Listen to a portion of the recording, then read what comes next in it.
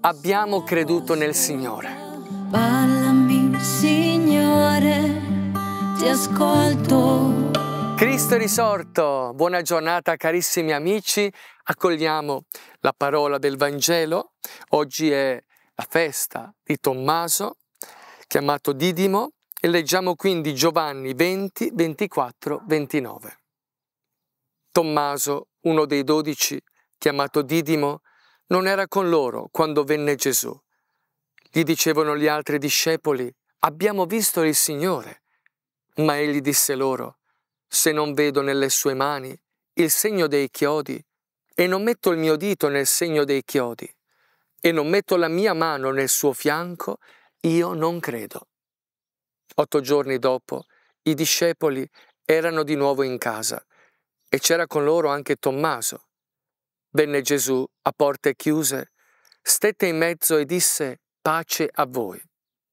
Poi disse a Tommaso, metti qui il tuo dito e guarda le mie mani. Tendi la tua mano e mettila nel mio fianco, e non essere incredulo, ma credente. Gli rispose Tommaso, mio Signore e mio Dio. Gesù gli disse, perché mi hai veduto, tu hai creduto. Beati quelli che non hanno visto e hanno creduto. Amen. Cari amici, ringraziamo la liturgia che oggi ci propone la figura e la persona di Tommaso, uno dei dodici, che ci regala un'esperienza bellissima.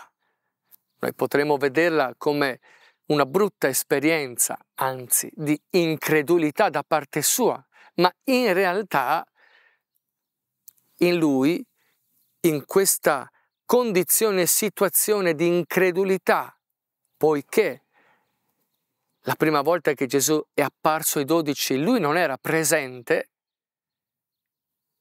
e non ha creduto agli apostoli che gli hanno poi detto abbiamo visto il Signore, ecco che aiuta noi a vivere la nostra quotidianità, la nostra fede.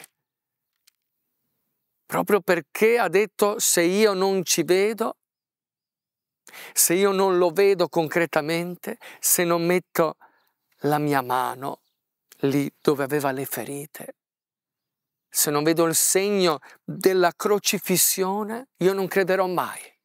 Quante volte noi siamo proprio così, poniamo dei se nella nostra vita, tante, tante condizioni per credere. Signore, se tu intervieni, allora io crederò in te.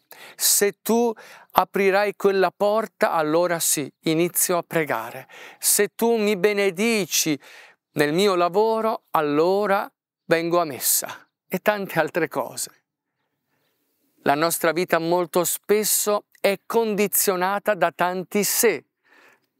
In realtà è condizionata dai nostri stessi limiti, dalla nostra lentezza nel credere, dalla nostra pigrizia, potremmo anche dire, nelle cose di fede.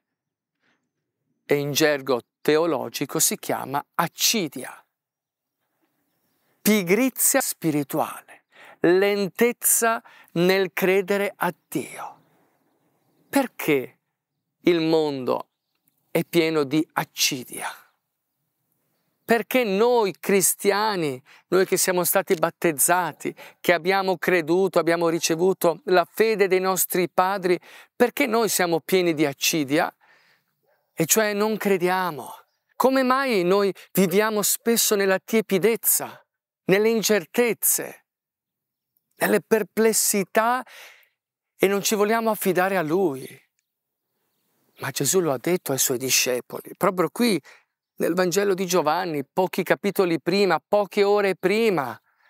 Voi siete nel mondo, ma non siete del mondo. Attenzione perché nel mondo chi vive nelle tenebre cerca di oscurare la vostra vista, tappare i vostri orecchi, perché voi non vediate la presenza del risorto, perché non vediate, non ascoltiate le parole di Gesù, e non crediate che siano vere. Rendiamoci conto a livello spirituale che vivendo nel mondo siamo continuamente assediati, circondati a partire dallo smartphone, dal cellulare, da internet, da tutta una situazione generica sociale che ha deciso di allontanare Dio dalla nostra vita, dicendoci non vedi Dio, non c'è. Vedi la guerra, la pandemia, non esiste Dio, perché se esistesse sarebbe intervenuto. Eh, com'è possibile che non interviene? Questo ci dice il mondo. Vivi come puoi, con le tue forze, vai da specialisti, fatti aiutare, ma lascia perdere la fede. Grazie a Tommaso, che come noi è stato incredulo, perché non aveva visto Gesù stesso e i suoi segni sul suo corpo, Gesù ha detto, beati quelli che non hanno visto e hanno creduto. Fratelli e sorelle, oggi siamo interpellati dallo Spirito Santo. Vuoi fare un passo nella fede? Vuoi fare un passo in avanti e credere? Avere fiducia in Dio? Invochiamo lo Spirito Santo insieme per allontanare l'accidia dalla nostra vita, questa pigrizia spirituale, questa tristezza spirituale che ci accompagna nell'incredulità e le diciamo, vieni Spirito Santo, abbiamo bisogno di te. Spirito Santo, entra nella nostra vita, entra nel mio cuore.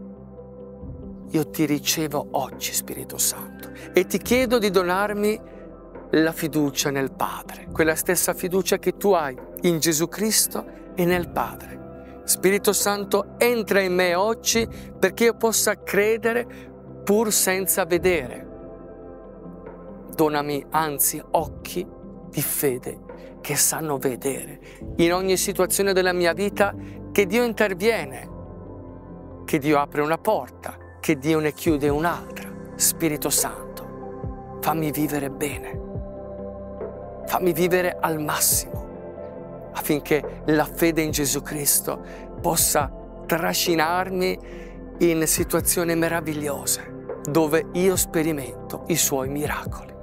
A te Gesù sia sempre l'onore e la gloria per tutti i secoli dei secoli. Amen. Cari amici, lo slogan di oggi è una continuazione di ciò che i discepoli hanno detto a Tommaso, abbiamo visto il Signore. Noi vogliamo dire, abbiamo creduto nel Signore.